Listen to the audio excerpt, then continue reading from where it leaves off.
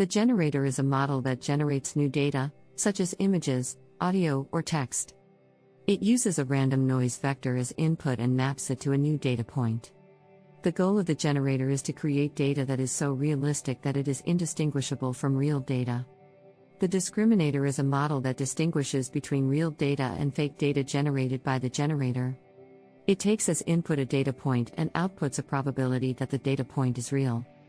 The goal of the discriminator is to get better at distinguishing between real and fake data over time, so that the generator must also get better at generating realistic data.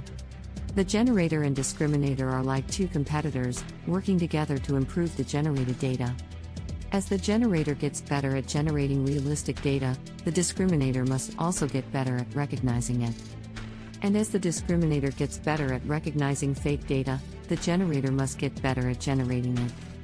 It's a continuous cycle of improvement, where both models are constantly pushing each other to become better. The generator and discriminator are both neural networks, trained using a loss function that measures the performance of each model. During the training process, the generator and discriminator take turns making predictions and adjusting their parameters based on their results. The generator starts by generating a new data point from a random noise vector. The discriminator then evaluates the generated data and provides feedback to the generator in the form of a loss value. The generator uses this feedback to adjust its parameters and improve its ability to generate realistic data. The discriminator, on the other hand, is trained to differentiate between real data and fake data generated by the generator.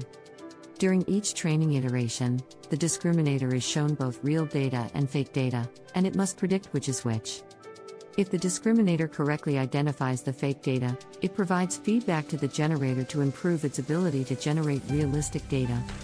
If the discriminator fails to identify the fake data, it adjusts its parameters to become better at differentiating between real and fake data.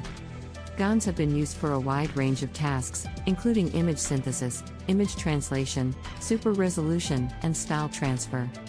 They have also been used in medical imaging, where they can be used to generate synthetic images that are used to train other machine learning models.